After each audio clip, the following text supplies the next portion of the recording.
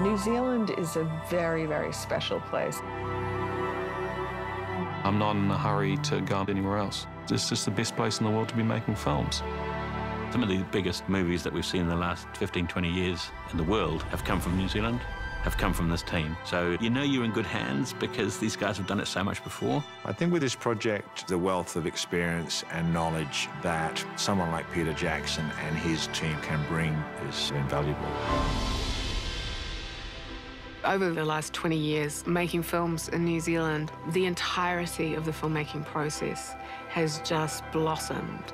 It feels so very much alive, and anything's possible. Anything's possible. We can do it. With these types of films, creating a world that doesn't exist in our world is something completely new. It works a lot better if you just treat it with as much authenticity as you possibly can. And there is something comparable with the Tolkien movies in this regard. On the Lord of the Rings, landscape of New Zealand was an amazing canvas to then grow the world out. That expertise is now crossing over into being able to fully create worlds from nothing. We had to build everything on sound stages, you know, completely fabricate these other worlds that aren't actually even anything remotely close to New Zealand. I love Wellington. It's always a pleasure to work here. We don't have to go anywhere else for any part of the process. This small town in New Zealand, which is picturesque and lovely, and then there just happens to be this giant movie studio with a huge industry nestled in the middle of it. It's an amazing thing. To be able to come so far from everything else and just work here in this like haven with people that have that level of experience and have been doing this for a long time, it was amazing.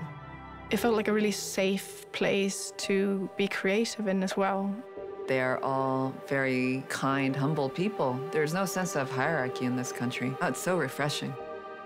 New Zealanders are just good-spirited folks. I mean, I'm, not trying to, like, cozy up or anything like that. They're just nicer than most people. They really are. They literally, I don't think they believe they can't do anything. That's a great, that's a great place to be, man. If you want to come and work with the best crews in the world that are going to be 100% behind your vision, yeah, you've got to come here.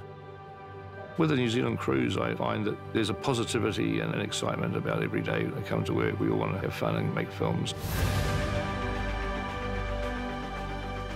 World building is something we've had a lot of experience at doing. We've taken material, certainly in the past and now with Mortal Engines, that is something very cinematic. And I think our artists thrive on rising to the challenge of delivering a world that no one's ever seen before.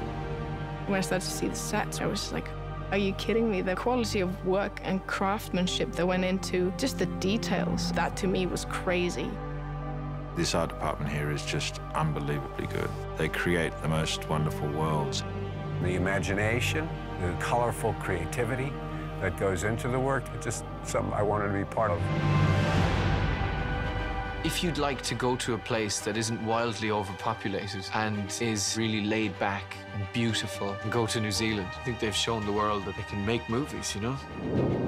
New Zealand is a country that has a tradition of ingenuity. So you throw a bunch of New Zealanders into a feature film environment and it's like they're absolutely designed for it.